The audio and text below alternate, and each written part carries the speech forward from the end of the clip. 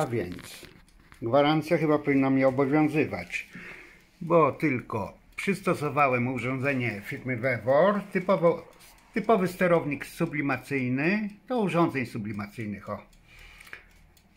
Ze współpracą z piecykiem. Następnie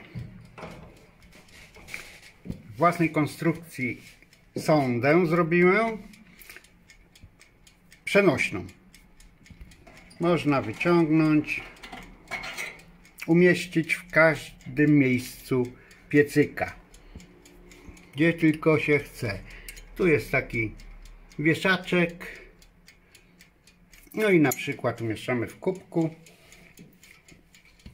I nie musimy się martwić o temperaturę, że będzie jakaś inna.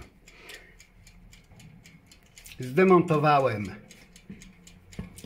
oryginalne rożno, które było niepotrzebne i dorobiłem dodatkowo termoobieg, bo ten oryginalny nie zdaje egzaminu, to jest jakaś parodia.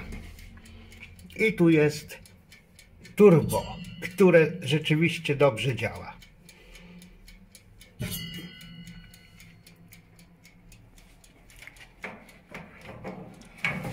Co i jak robiłem ze szczegółami zamieszczam w dalszej części filmu jako zdjęcia.